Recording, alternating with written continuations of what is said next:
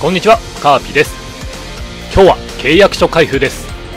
今持っている S ランク系の契約書今回全部開封したいと思います。契約書の内訳はこんな感じです。第18回最強決定戦を間近に控えて経験値1.8倍の今は契約書開封にいい時期だと思います。特訓のトレーナーはいくらでも欲しいですしあわよくば自チーム S ランクが当たったらいいなと思ってます。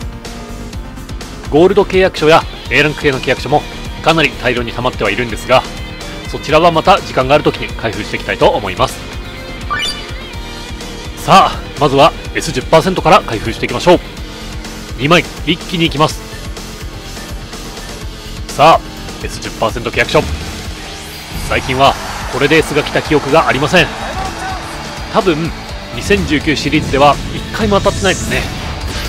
そろそろ来てもいいんじゃないかって言ったら来ました。さあ誰が来る？おおビシエド選手。これは大当たり選手ですね。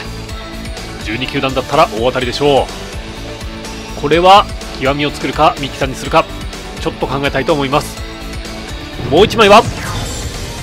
はいさすがに2枚は引けませんね。S10% 幸先スタートになりました。次は S30% 契約書。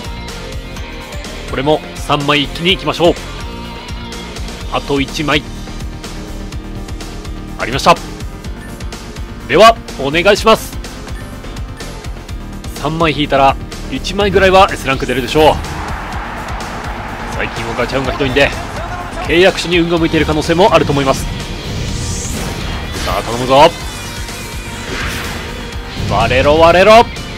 割れた柳田選手。ここは A ランクでしたけれどもいい引きですね。極意所要員になります。2枚目はノマーマジか。自チーム引けました。かぶりはしましたけれどもやっぱり自チームは嬉しいですね。野間選手最近はスタメン落ちが続いてますね。いろいろと悩んではいると思いますが復調を信じて待ちましょう。3枚目はここは A ランク。3枚引いて1枚 S ランク。自チーム引けましたし悪くないでしょう。さあ最後に S ランク契約書2枚同時引きいきましょう。この動画を作った後はお買い物に走りたいと思います。買うものはそうプレステ4のプロ野球スピリッツ2019です。スマホ以外でプロスピをやるのは初めてなんですよね。めっちゃ楽しみです。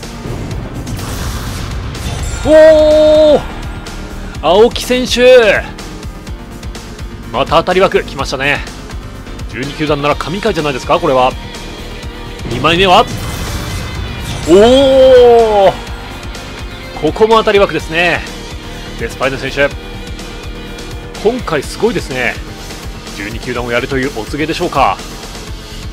この機会にちょっとだけお話しますと将来的にはセ・リーグ限定オーダーとか12球団オーダーとかやりたい気持ちはあるんですよね。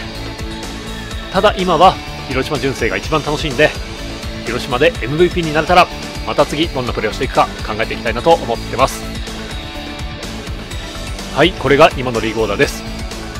最近はかなりガチャ運に見放されてしまっていて正直予定よりもチーム強化は遅れています。最強決定戦の開催までにどこまで強化できるかできることは全部やっていきたいと思います。その様子は全部動画にしていきますんでまたぜひ見に来てください。はい今回もご視聴ありがとうございました。最強決定戦広島リーグ MVP 目指して頑張れのグッドボタンチャンネル登録ぜひお願いします。動画にできない部分は Twitter で発信しています。そちらもフォローお願いします。過去の動画は概要欄か再生リストからどうぞ。それではまた次回の動画で会いましょう。さようなら。